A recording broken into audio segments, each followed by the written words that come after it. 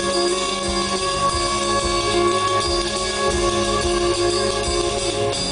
you.